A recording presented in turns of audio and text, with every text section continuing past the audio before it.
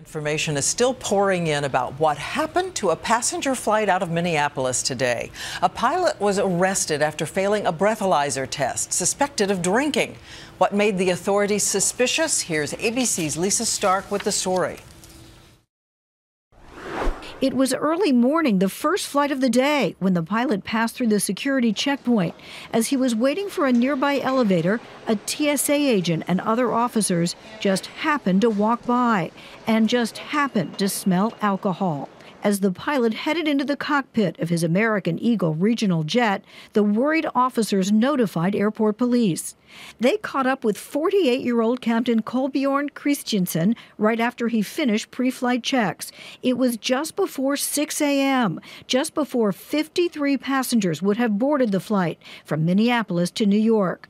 Police say Kristiansen failed a preliminary alcohol breath test. He was arrested. The reality is that there is no excuse whatsoever for having alcohol in the bloodstream of a pilot. None. The airline scrambled for a replacement pilot. The flight took off late. Eagle Flight 4590, proceed direct to LaGuardia. It landed safely at LaGuardia. Some were shocked when they learned why their flight had been delayed. I'm feeling very unsafe. The FAA says incidents are rare, about 12 allegedly drunk pilots arrested a year. In one case in 2002, two America West pilots were caught drinking on surveillance tape the night before their flight, and TSA screeners smelled alcohol on their breath the next morning.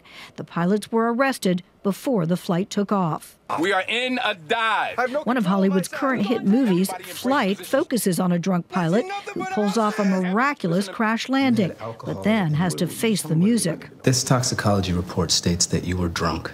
The legal alcohol limit for pilots is 0.04, half of what's allowed for drivers, but still enough to impair judgment. And to give you an idea just how seriously this is taken, in the most extreme cases, pilots can face up to 15 years in prison. In this case, for Kristiansen, his fate is still unknown. We do not know his exact alcohol level. We do know that he has been suspended pending a full investigation.